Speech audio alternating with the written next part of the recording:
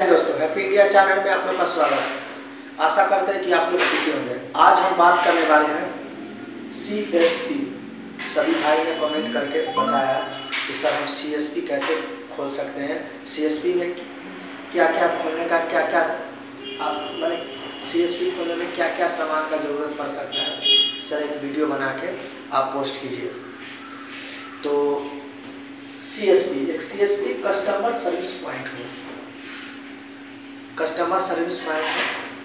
और C S P और A E P S A E P S जो provide करता है अदर कंपनी का स्पाइस हो फिनो हो पेटीएम हो, या एयरटेल पेमेंट बैंक हो, या डीजी पे हो, या रॉकी पे हो।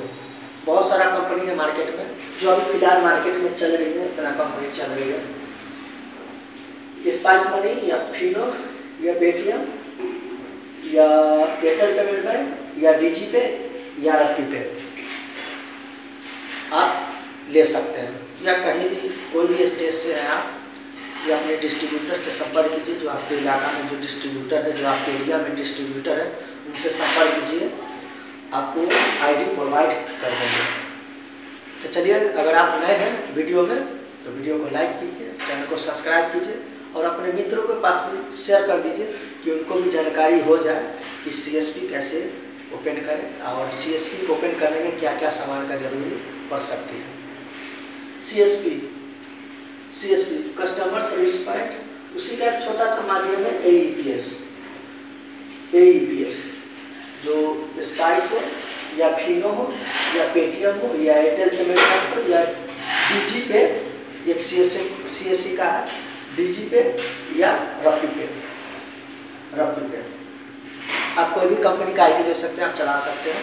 आधार एनुअल सिस्टम है, या मनी ट्रांसफ़र भी कर सकते हैं, या आप इससे अकाउंट से पैसा निकाल के लेन देन कर सकते हैं। इन सभी ओपन या कोई इसमें से आप कोई भी कंपनी का आईडी ले लीजिए। और सबसे बड़ी समस्या पैदा यहाँ आ जाती है कि सभी व्यक्ति या स्पाइस हो या पेटीएम या फिनो बैंक हो यूज़ कर रहे हैं। लेकिन उनके पास सेविंग अकाउंट से यूज़ कर रहे हैं। तो अगर सेविंग अकाउंट से यूज़ कर रहे हैं तो आप लोग कोई नज़दीकी ब्रांच ब्रांच में जाकर करेंट अकाउंट ओपन करवा लीजिए। या जिन भाई सीएसपी ओपन करना चाहते हैं, वो पहले अपने नज़दीकी शाखा या नज़दीकी ब्रांच में जाकर आप करेंट अकाउंट ओपन करवा लीजिए।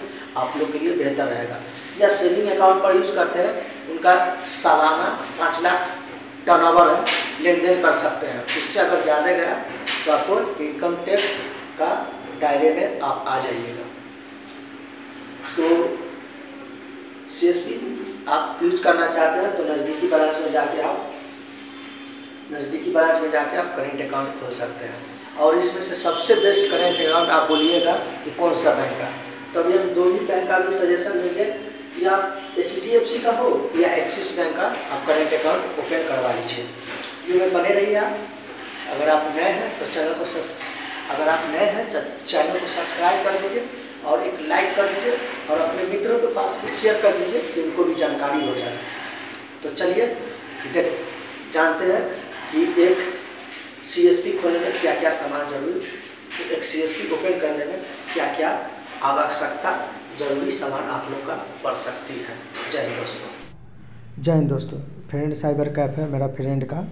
तो आइए, चलिए इसमें दिखाते हैं क्या क्या सामान। दो प्रिंटर हैं, वो साइबर ओपन करने में आप प्रिंट आउट कर सकते हैं। दो प्रिंटर हैं। प्रिंटर देख सकते हैं, एक डिवाइस है मंत्रा का, एक लैपटॉप है और एक बैनर, देखिए एयरटेल पेमेंट बैंक का बैनर लगा हुआ है और एक फ्रेंड साइबर कैब का बड़ा सा बैनर लगा हुआ है, जो आकर्षित करता है कस्टमर सबका। और एक, देखिए, और सबसे मोस्ट है, ज़रूरी है, आपका सर्टिफिकेट सर्टिफिकेट रहना चाहिए, और कैमरा कैमरा सीएसपी में कैमरा लगा होना चाहिए, जो, और एक छोटा सा एलईडी है, उसमें आप देख सकते हैं। और दो सिस्टम है, दो सिस्टम है, और किसी भी कस्टमर को आप बैलेंस निकालिएगा तो मेंटेनेंस करने के लिए एक डायरी आपके पास ज़रूरी है। आप डायरी रख सकते हैं। डायरी रख सकते हैं। और एक माइक्रो एटीएम रख सकते हैं जो आप किसी भी एटीएम से आप बैलेंस निकाल सकते हैं। माइक्रो एटीएम बहुत मस्त है कस्टमर के लिए। और एक छोटा सा सीएसपी और एक बैनर है स्पाइस मनी का है। और पेटीएम का है और एक छोटा सा भी एक बैनर है, पेटीएम ही का स्पाइस मनी का है, सॉरी। और देख लीजिए, और एक बाहर बैनर देख लीजिए, Airtel Airtel payments bank, ATM, और इधर स्पाइस मनी, स्टार प्लस अधिकारी स्पाइस मनी। जय हिंद दोस्तों।